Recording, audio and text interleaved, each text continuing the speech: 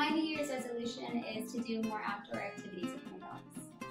Hi, I'm Larry, and my New Year's resolution is to stop scratching mom's couches. My New Year's resolution is to open the door for better communication between animal rescues and shelters so that we can save more animals 2020. My New Year's resolution is to brush my dog's teeth more often. Is to connect with more rescue partners around the world so that I can help save more animals. To send more wishlist products to rescue pets. Is to switch all my cosmetics over to cruelty-free brands and to let other people know why they should too. Is to be the best new kitty mom to Mr. Harry Larry that there ever was. Mommy. Okay.